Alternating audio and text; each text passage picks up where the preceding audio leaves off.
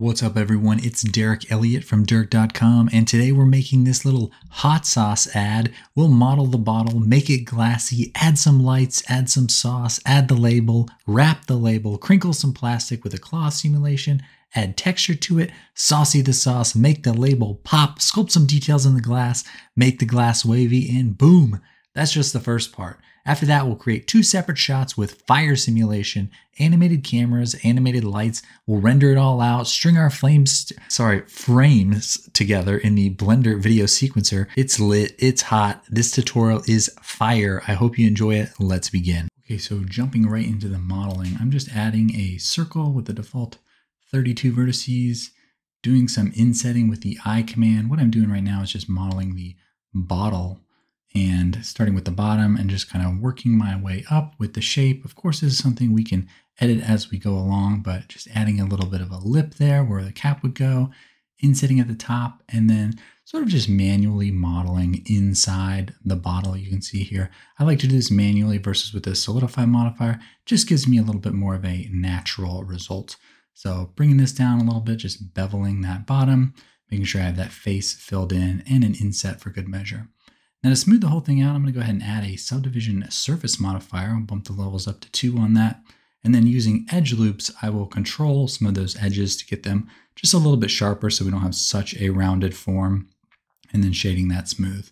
Now to control some of the tighter areas, rather than using additional edge loops, I'm actually going to use a bevel modifier and make sure that's before the subdivision.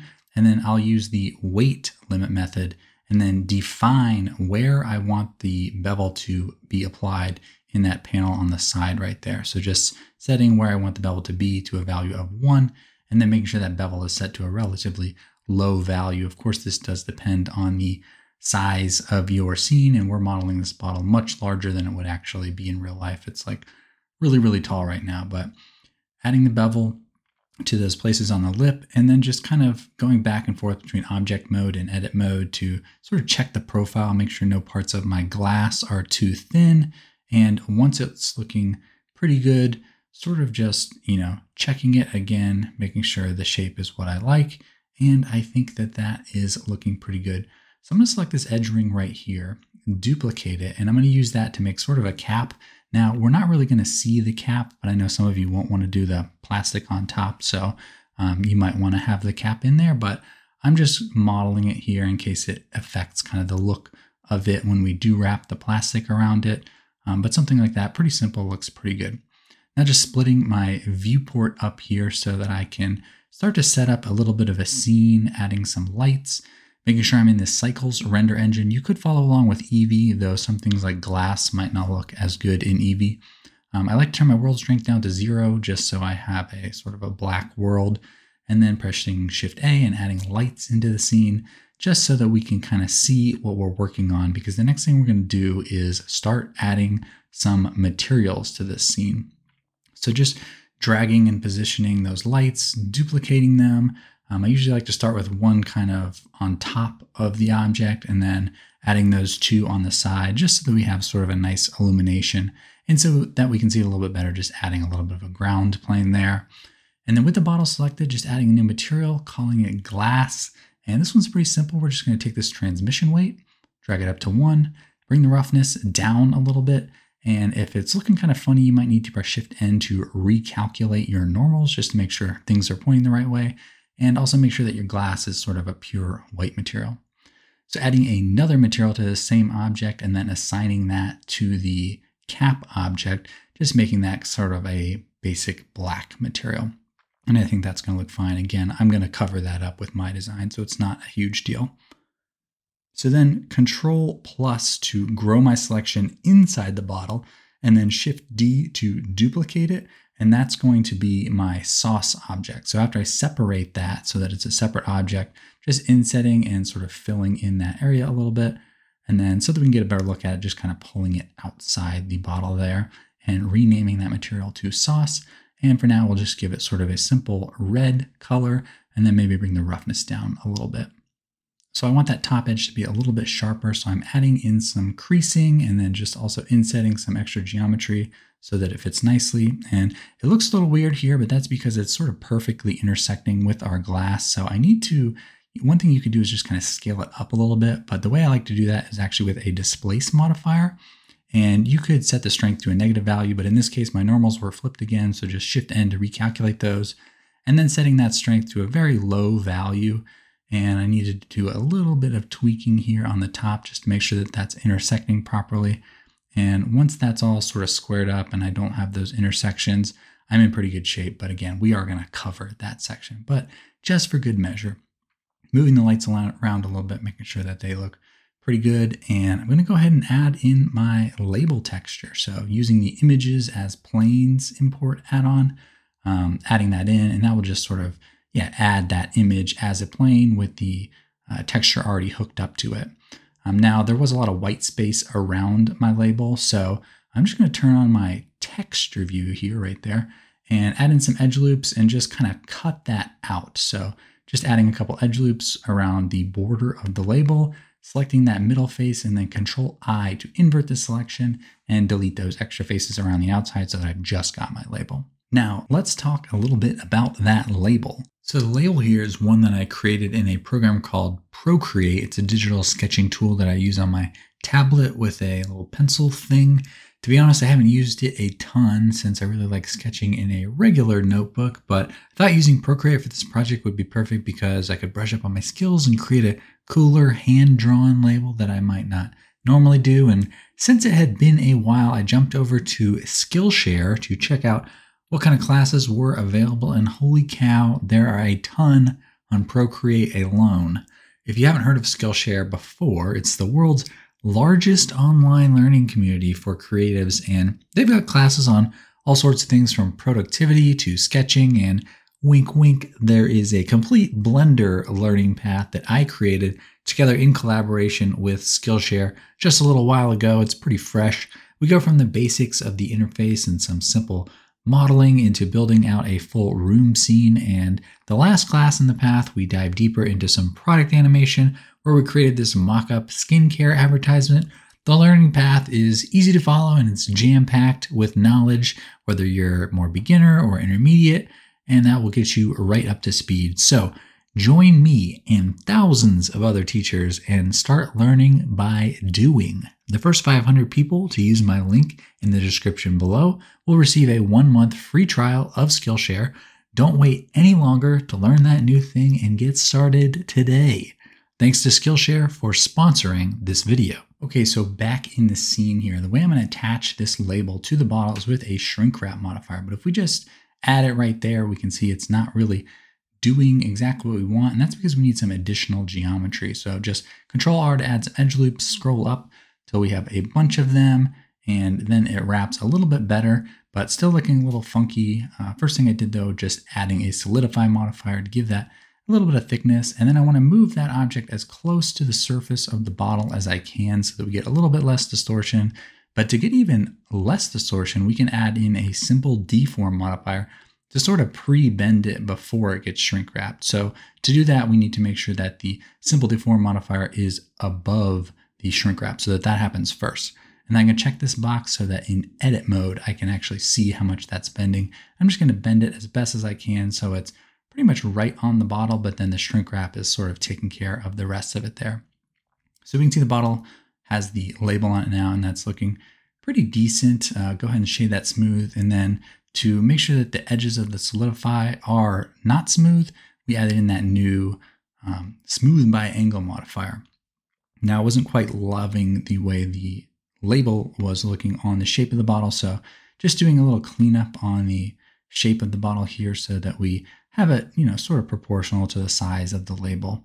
Um, now, trying to slide it up in case we did want to go over that curve, uh, not going to work very well without some additional loop cuts. So adding there some additional loop cuts, and uh, yeah, it's looking looking a little bit better. And now, if we did need to move it up onto the curve, it would be fine. So don't forget to save your file. Now would be a good point to do that. Control S is going to be your hotkey there. But um, I'm going to go into my color management and change this to high contrast just to give it a little extra pop. And I am using the AGX color space, which is sort of the new, more realistic recommended color space. But all in all, I think this is looking pretty good. So next thing I want to do is go ahead and add in that sort of plastic wrap around the top of the bottle. And I'm going to do that with a cloth simulation. So starting off by just sort of modeling around the top of the bottle until we have sort of that whole area that we want encompassed, deleting that top face, and then because it's going to be a cloth simulation, um, quads are going to look a little better here. So adding a grid fill to make sure that that top is filled in with the grids. And then, yeah, just adding edge loops until I've sort of got square faces. Then turning on the cloth simulation, you can see it just falls right down. That's not what we want. So selecting the bottle object, we'll add that as a collision object.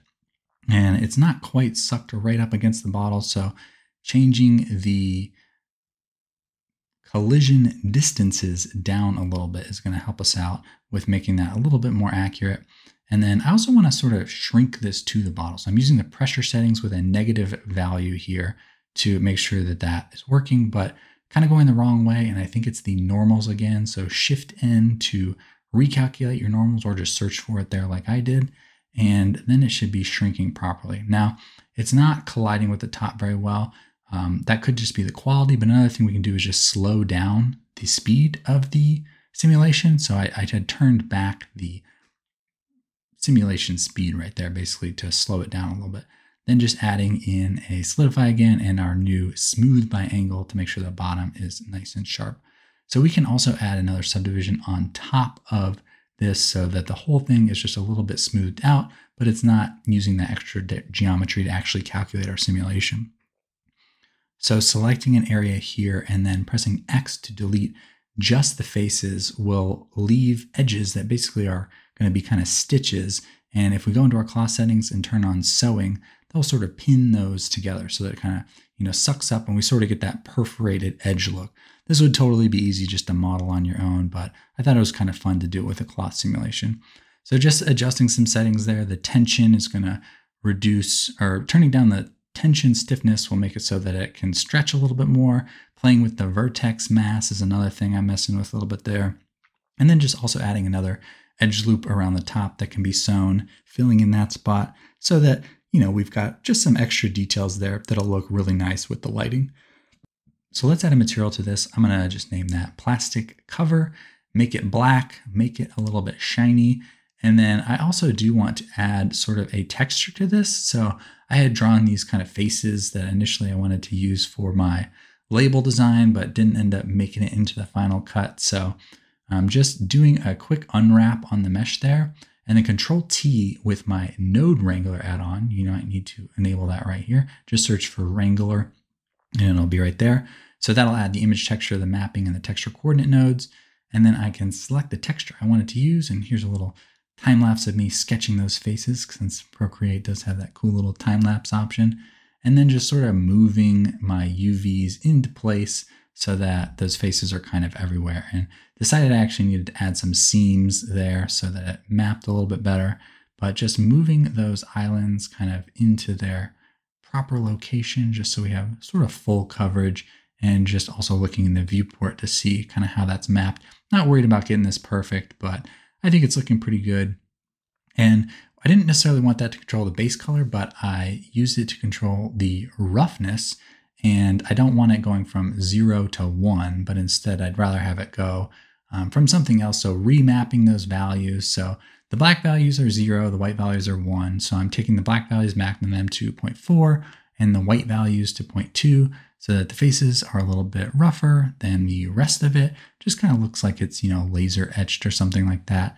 And then I can use that same texture plugged into the height of a bump node, which is then plugged into the normal to give that a little bit of a bumped out texture, a little bit more embossed or something, bumped in, bumped out, embossed, debossed. I'm not sure which is which, but adding the texture to the top right there might as well. Why not?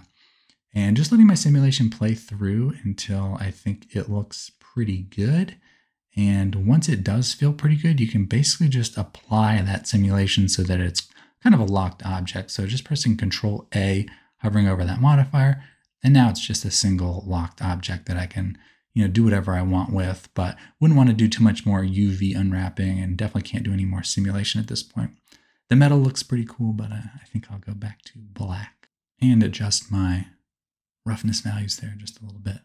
And uh, yeah, I think the uh, I think the bottle's kind of coming along pretty good here. Now's another good spot to save your file. Let's do a little bit more work on this hot sauce texture. Gonna do something real simple, just adding a noise texture, just so it looks like it's not one solid color, but there's sort of something going on there. And then using the object input and then plugging the factor of the noise into the color input of the principled shader. And then I'm gonna use a color ramp to control those colors. Now I had copied the color by hovering over and pressing Control Z or Control C so I can just press Control V right here and paste that same red back in. And then just kind of playing with the scale, maybe giving it a little bit of distortion, playing with that color ramp some more, just until, again, you know, this isn't super visible, but just adds a little bit of detail as you can see here. So shift control click on that color ramp to get a better look at it. And I think it turned out looking decent. So I'm moving that back into the bottle and uh, yeah, we're looking pretty solid. So let's do a little bit more work on this label. So we've got the just the black and white texture going into the color now, and that looks fine. But I actually made a couple other textures here. The first is this bump texture. So if we take a closer look at that, what I did is basically just kind of darken some areas of the texture so that they were a little bit more gray and then blurring other parts of the texture so that they you know had not so harsh of an edge, which this type of thing works really well when you're using a bump map, blurring it. So if we plug that into the normal, and then we're gonna add a vector bump node, drop that right there, plug that into height, and you can see what I'm talking about. We've got a little bit of a more kind of gradual embossed look right there. So turning the distance value, turning the distance value down pretty small, and then also controlling the strength to get that looking just the way we like. And it is looking pretty good. We try looking at it in black. That's kind of a cool look, which does make me think we'll probably need to move these lights around and then maybe also influence the roughness a little bit, maybe even the metallic. Um, so I did make yet another texture from that same black and white image, which was the color. So if we take a closer look at that, that's basically just the same texture and then not worried about drawing outside the lines at all there, but just adding a little bit of color to make that sort of exciting. I did this in Photoshop just with a sort of a soft brush to get those gradient looks. Um, so that plugged into the color looks pretty good and just makes it a little bit more exciting. So now I've got this other texture here. I'm going to use that to control the metallic value. So the areas that were white are going to have a metalness value of one, so fully metal, and then the more gray ones are going to be partially metal, which isn't really a realistic thing, but I think in this case it's going to look totally fine. So I had to come up with something to do with this original texture that's just black and white, and I think I'll use that to control the roughness here. So if we take a look at it now and we want to remap those ranges, again, we've got white is one and rough, black is zero and shiny. So I want to remap those so that the zero, which was the black, I want just to be maybe like a 0.3. And then the areas that were white, I want to be like a 0.1. So a little bit more shiny. And taking a closer look, we can kind of see what that does. Sort of a nice, really like high gloss area, especially when combined with that bump map you can see down there on the high heat portion of my beautifully hand sketched, well, digitally sketched logo. But yeah, looking pretty solid. Adjust those values just a little bit more. Maybe don't want it quite so shiny, but play with those until you get it about how you like. And I think it's looking pretty good. Now I want to do a little bit of sculpting on this object just to give the glass a little bit more detail, like there's just something else going on there. Um, but I need to have a little bit more resolution on my mesh to do that sculpting. So I made a duplicate and just moved it into a new collection that I called copy. And yeah, I just need more geometry sort of in this area. So just growing that selection with control plus, subdividing it, making it smooth so that it doesn't get too faceted and something like that will look pretty good. Maybe a couple extra loop cuts in these areas will help us out a little bit. And then to sculpt on this, I'm going to use a shape key and I'll just name that sculpt and then turn the value on that shape key up to one. And that is important to do if you're going to be sculpting. If you try to sculpt and it's at zero in that shape key, it's not really going to do anything. So give my space self a little more space in the viewport here going into sculpt mode. And then, yeah, now we can just kind of draw on this bottle whatever we want. And, you know, I expect you all to do sort of whatever you want. But in my case, I thought a, a nice serif D might look nice. So just using the sort of basic tools here to kind of draw this out. Taking my time, take all the time you need. This isn't going to be super visible, but just trying to make that popped out a little bit. And then also using the crease tool right here to sort of just sharpen some of those areas so that it is a little less blended in the shape. Maybe hope it will make it a little bit more visible, just kind of giving it a little bit of an edge there. And we can always turn this whole thing down a little bit by just reducing the value on that shape key. But just kind of being sort of sloppy, but you know, sort of handmade, you know, it feels a little bit more natural.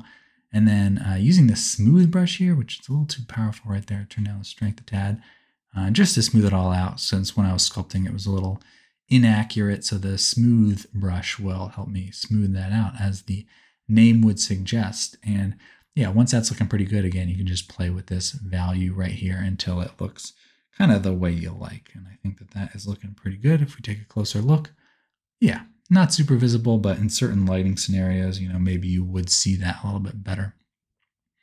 So this glass bottle right now is super sort of regular shape, but I want to make it look like it's a little bit more like hand blown or I, I don't even know how these glass bottles are made, but there's usually a little bit of waviness to it. So just adding a noise texture in, sort of similar to uh, what we had done before, but just using the noise texture like we did on the hot sauce to control the bump value of the glass. And you can see that those reflections are just getting a little bit wavy now. And I think that really goes a long way to sort of make it look just a little bit more realistic. So playing with my lights right here, moving them to a new collection called LCA, which stands for Lights Camera Action, and then adding an empty to the scene as well as a camera into that same LCA collection. So I add the empty so that I can control the camera with it. So Shift A, adding a camera, moving that back, and then parenting it to the empty with Control P. And then I can take that empty and just kind of move it up like this until it looks sort of straight at it. And then I'll go ahead and set my resolution here too. You can do whatever you want, of course, but I thought vertical would work pretty well for this bottle shape because it's kind of vertical. And, you know, clients all the time these days. They want the vertical animations for social media. So yeah, looking pretty good. Just add a rough texture to this floor, just something black with a little shininess will look pretty good. And then so that we're not rendering outside the frame, just add in a render border with control B. And uh, yeah, looking, uh, looking pretty darn good. This is sort of ready to render whenever. I'm noticing it's a little bit dark in the front of the bottle though. So took this plane and added it in. Now I don't want to actually see that plane. So down here in my shading tab, I can uncheck camera for the ray visibility. And now you see we have sort of this nice reflecting thing and we'll name that material reflector.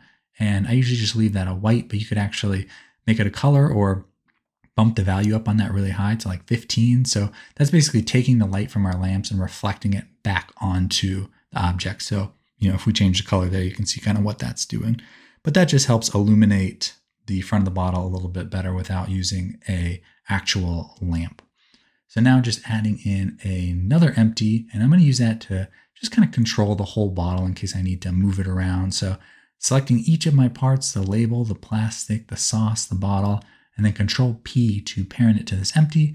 And now if I just, I'm pressing R twice to just sort of free rotate, now I just have this one object I can use to sort of control the whole bottle. And I usually want that to be kind of in the middle.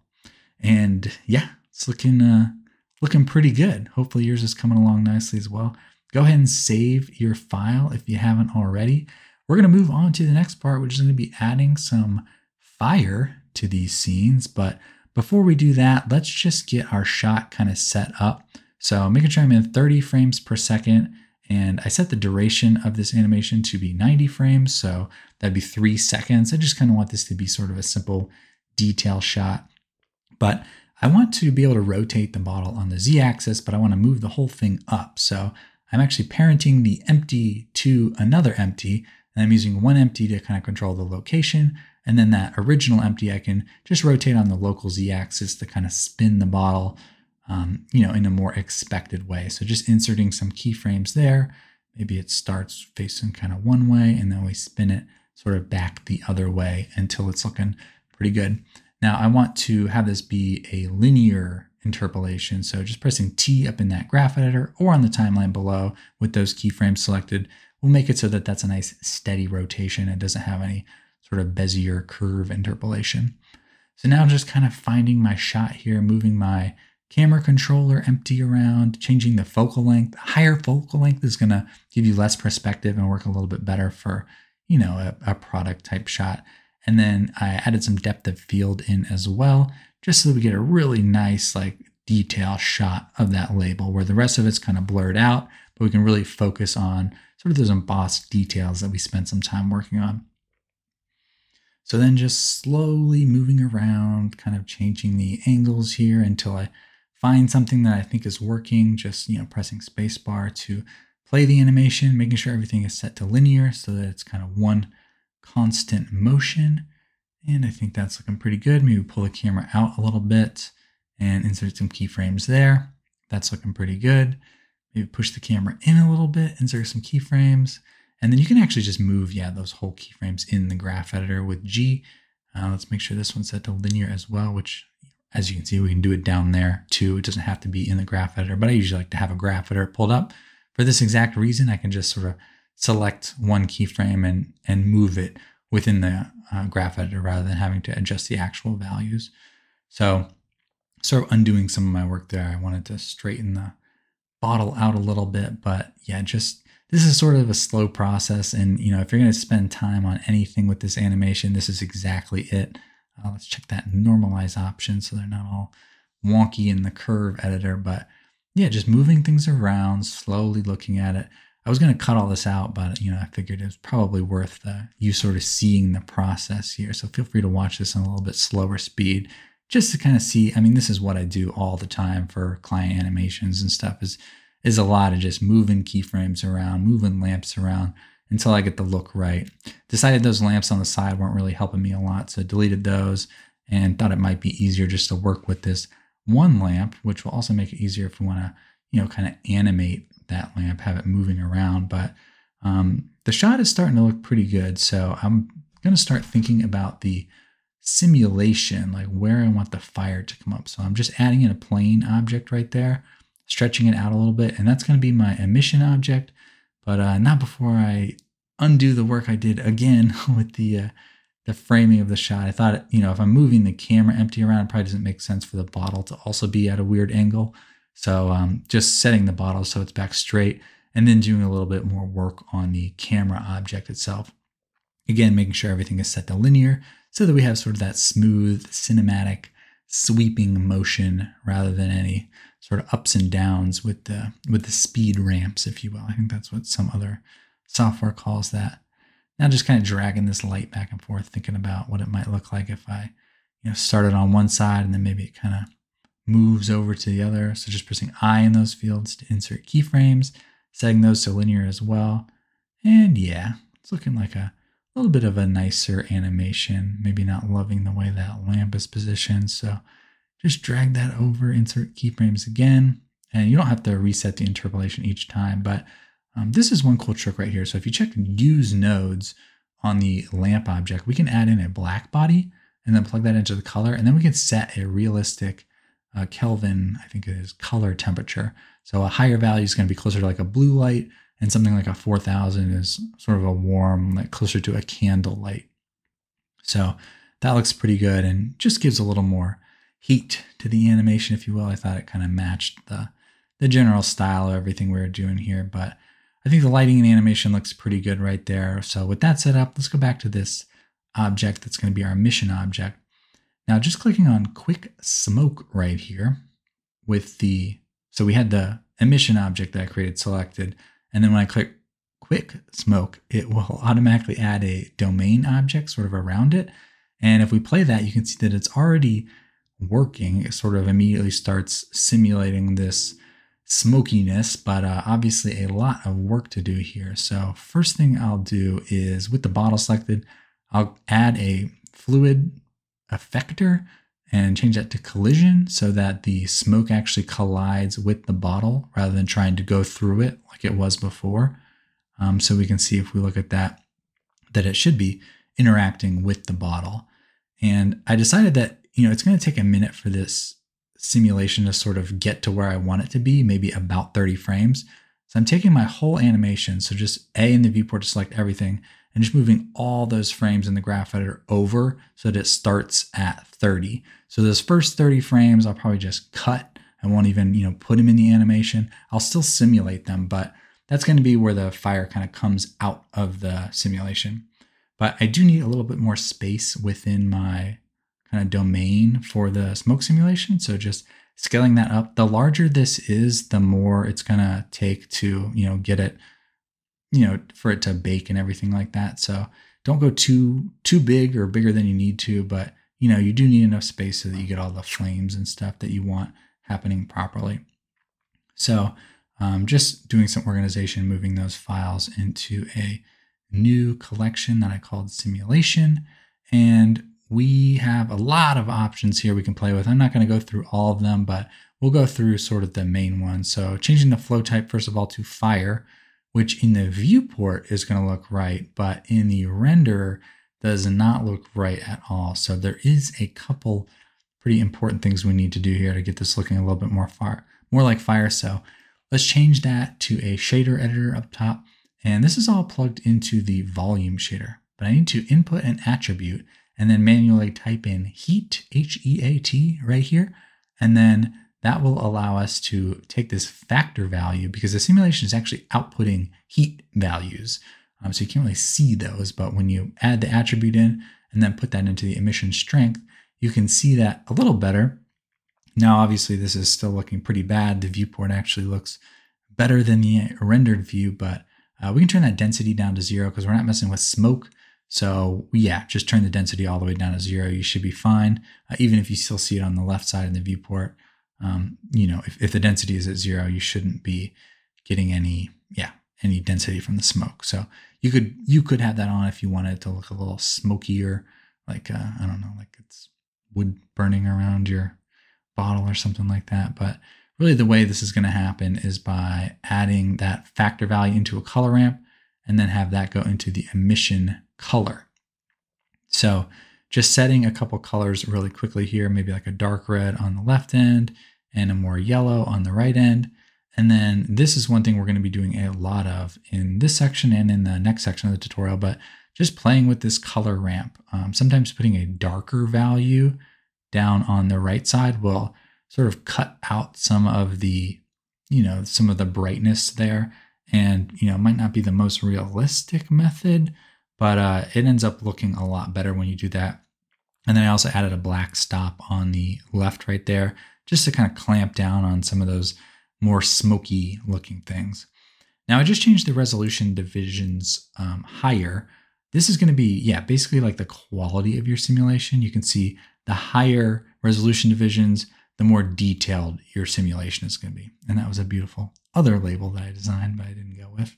Let me know in the comments if you uh, like the old one or, or the one I went with. But I'm going to try changing this fuel option on the inflow object. So that's to kind of like emit more fire, maybe. I don't know. Really, the best way to play with these fire simulations is a lot of guessing and checking. And that's basically what I'm going to do a ton of now and in the rest of this tutorial. But one thing to make it maybe look a little bit more irregular is just reshaping, adding some subdivision to that emission object so that it's not just coming up all straight and uh, not looking so hot right there. So, well, this is looking very hot, but it's kind of like, I don't know, it's a little bit too splotchy. Like I, I don't, I don't love the way the, the flames are looking right there. So uh, I'm going to add in a math node for one and if we plug that between the factor and the emission strength and set it to multiply, we can turn that up and that'll help it be a lot brighter. And that will help us a ton with the way that the,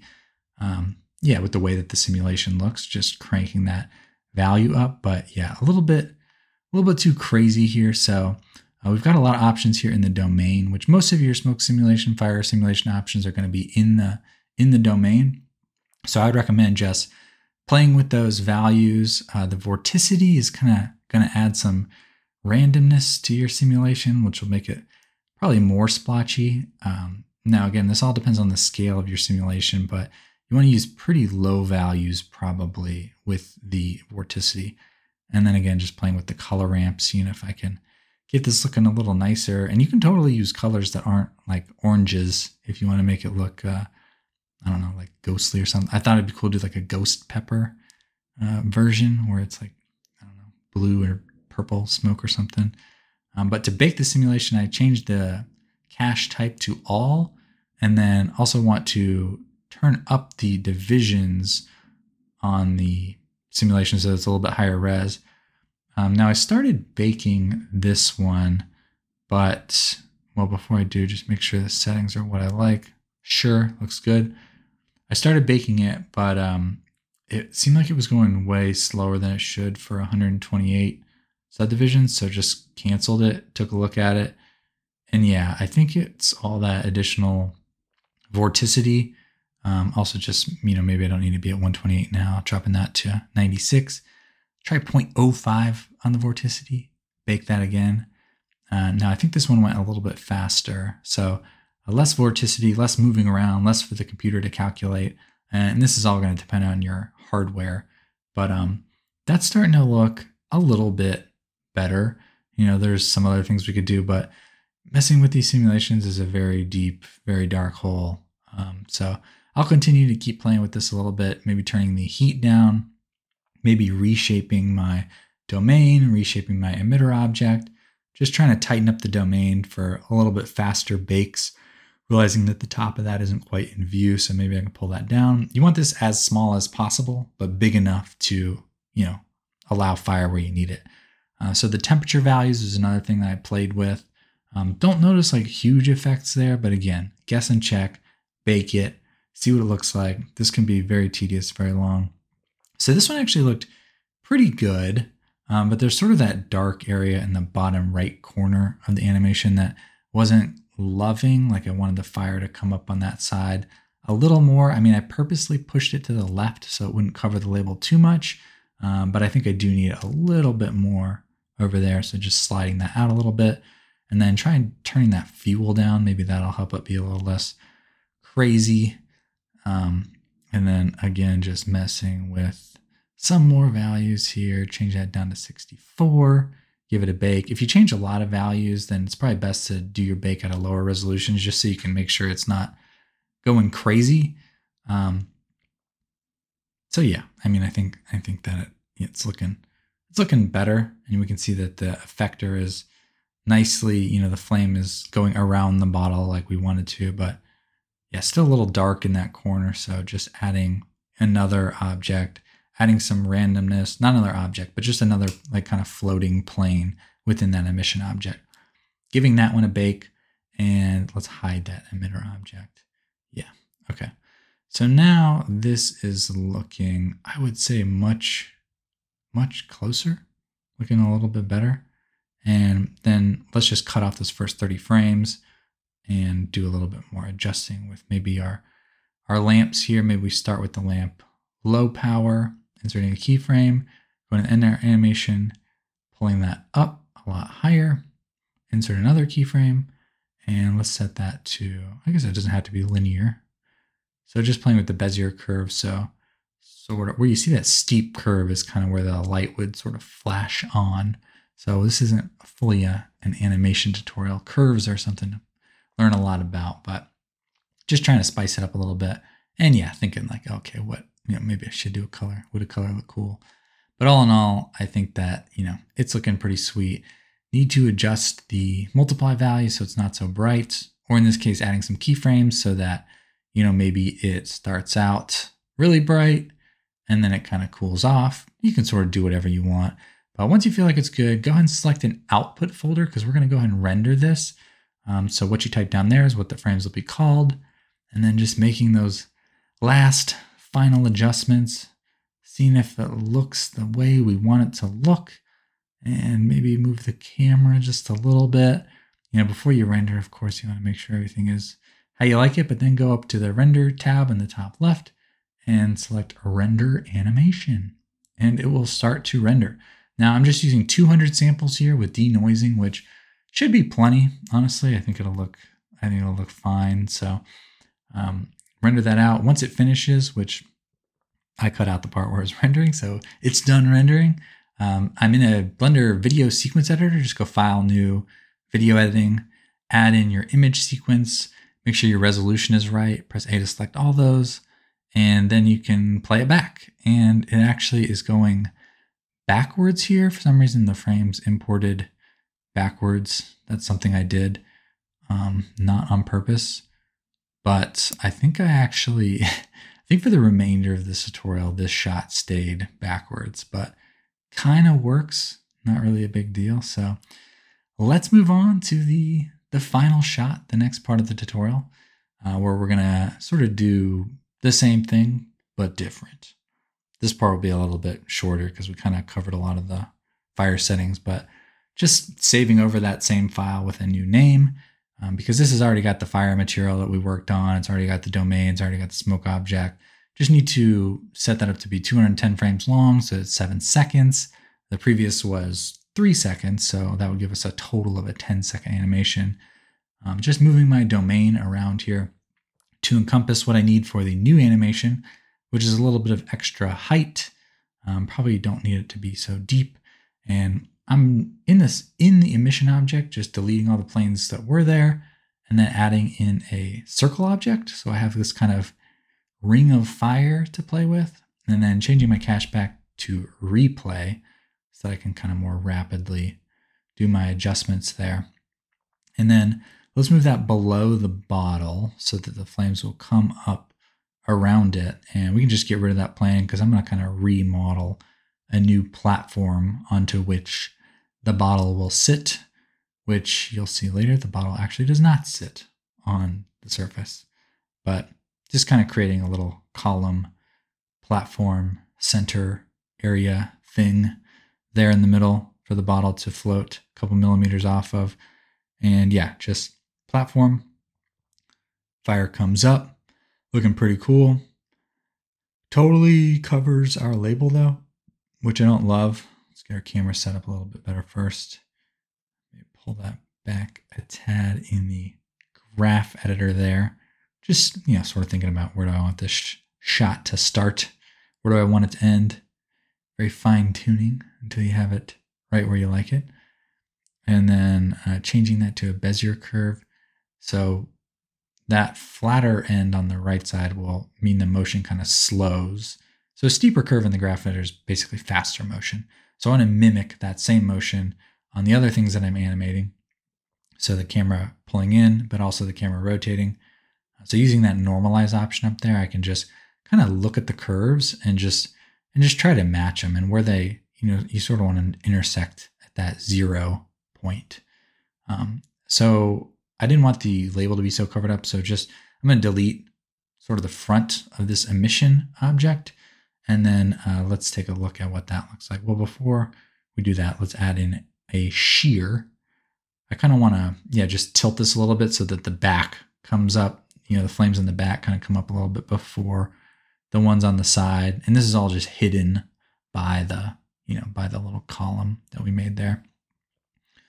Let's go and add our collision effector to our platform object so that it goes through the hole but not through the object. And uh, looking fine, a little bit too straight. Probably going to be thinking about adding some vorticity, maybe even some force fields. Uh, another thing we can do, like we did before, is just randomize the shape of that a little bit. And I, I was just using proportional editing with the random feature on, and that will allow that to be a little bit more irregular. And the flames are already looking a tad bit better, but Lighting, not perfect. Thought I might go ahead and add in that reflector object like I did before. Add in some other lights. Now we probably want this to start off pretty dark, but you know, a lot of times I'll start doing my animation kind of in a way that where I want it to end, just so I sort of have my final shot, the more important part figured out. So adding some vorticity in there, maybe 0.1, let that play a little bit, see how it's looking. It's looking, uh, it's looking decent. Could be better. Maybe a little bit more work with the color ramp here. Maybe we want a little bit of extra, extra action in this shot. And then just scaling my domain down because I didn't need to be quite so big. And then adding in some keyframes for the location of each lamp. And then also keyframing the power. Adding a little bit of a backdrop there, just a cube, pulling the ceiling of my domain down a little bit because it's out of view. And with those things set, bake the animation, and it baked very fast again because I cut out the part where it baked. Looking a little splotchy, not fantastic. And you don't always want to ditch the bake right away. You know, it might be something that you fix with like the color ramp.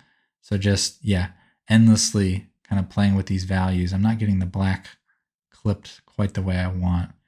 So changing some settings, taking another look at that. Kind of back to square one here. It's not uh it's not looking quite right. Not sure what it is. Guess and check. Maybe we need a force field to uh, mix this up. So just adding in a force with a negative strength value and baking it. And that should sort of pull the fire towards the force, which the force is a little bit too centered up. So uh, let's change that back to replay so we can do some more, more live testing here. And then adding some keyframes for that force field. And you can see that it's kind of dragging the fire, which gives it a lot more interest, I would say. Uh, and, you know, rather than adding vorticity or something like that, just adding in that force field and then animating the force field to kind of move around will also move those frame, flames around. And I thought it looked cool if I dropped that force field below the surface so that the flames kind of went back down to bring the focus back onto our bottle object. Um, so that is, yeah, it's looking a lot better. It looks pretty cool. I like the way that it sort of leaves the bottle at the end there. And we've got that brightness kind of just happening at the, uh, at the bottom of our bottle. So setting a new folder for our frames to be rendered into, making some last adjustments here to the value of that multiply until it's looking right. And then doing a test render, just seeing if it looks good. And thought maybe the floor could use just a little bit of texture. And then probably need to do a little bit of work with the lighting. Changing the spread on your area lamps is a really cool thing to play with. That can give you some really unique looks. Uh, and then just uh, rendering it out and seeing how it looks. And it finished. Voila, so fast. So I'm back in my video compile file that I saved. I'll bump up the duration to a full 10 seconds, 300 frames, and then I'll add in my image sequence. A to select everything, and then add image strip. And again, I believe they went in backwards. I can't believe I never noticed it on the first one though. So yeah, that's going backwards. So we can just go down into our video tab on the right side, I think it is. Yeah, and then reverse frames. And yes, I never noticed that it was reversed on the other one. So I guess it looked good to me. So it's good enough. You can reverse your frames back to the proper direction if you want. Select an output folder for that. And I use the sort of default FFmpeg video. Yeah, just not really changing anything there. That should give us a pretty, pretty low file size video. And yeah, uh, pretty much done. It'll render the folder you selected. Play it, take a look at it. Boom, baby. That looks nice. I think it looks pretty good. I think it turned out good. Hopefully, you made a cool one as well. You enjoyed it. Like and subscribe. Follow me on Instagram, Derek J. Elliott. Uh, share with your friends. Tag me somewhere. I love you. Thank you again. I'll see you next time. Enjoy your hot sauce animations. Share them with me. Thanks. Peace.